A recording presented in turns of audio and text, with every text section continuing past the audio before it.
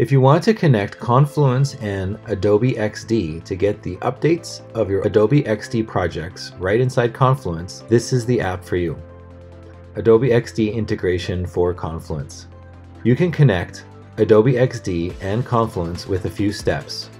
Go to the Atlassian Marketplace and search Bitband Adobe XD Confluence. Click Get It Now to install.